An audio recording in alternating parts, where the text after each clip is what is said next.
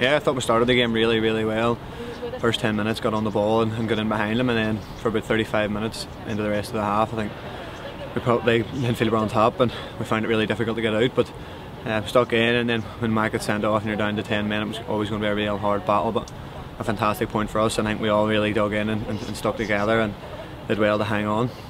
And as you say, we've had that good spell at the start of the game, but later on we had to dig in, and then the red card makes it even more of an uphill battle. But to get a draw here is, is something to build on. Yeah, it's a result you might look back on in May and say it was a great point. I think in the first 10 15 minutes, we probably looked like we were going to score a few. Jay had a great um, shot that was cleared off the line by Human, and then Phil got on top. I think they were on top in the midfield and, and were able to sort of create chances. And you say, you just got to stick in there when they got the goal. We just were trying to make sure we kept it to one, and, and we always knew that with the forwards that we've that they're going to get a goal at some point. And we nearly thinking they'd scored too early because I knew there was going to be an onslaught then from Linfield. But as I say, they were trying to get a lot of ball down up my side without Mac there. And, we just had to dig in and, and thankfully yeah we just about hung on I'm aware digging in we know Jay the form he's in and he if he's going to get that chance he's going to score and that, that's what happened today again yeah it was a brilliant header I knew that that was probably going to be our best chance of scoring was maybe a set piece so something that we've been working on and really trying to stop teams uh, scoring on our set pieces and scoring ones ourselves and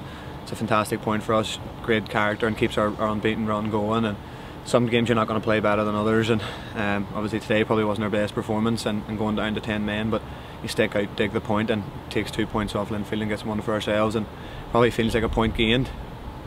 And the run we're on now, we've extended it today, obviously. But what do you put that down to, and, and, and how we're putting runs together like this?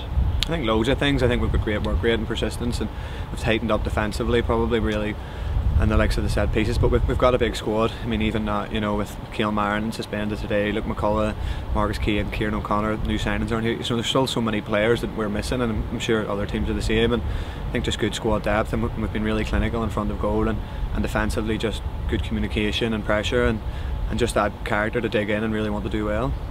And next up, it's Larne on New Year's Day. What's the thoughts looking ahead to that game now? Yeah, they don't get any easier, but they're the games you, uh, you know I came back to playing the Irish League for them, and we're, we're really looking forward to it. We'll recover from today's game and learn what we did, what we can do better. And Larne are a good side, obviously a good passing team, and I think they won today again. So it'll be a tough game for us, but I think if, if we can play to our own ability, then we should be able to try and get a good get a good chance of winning the game.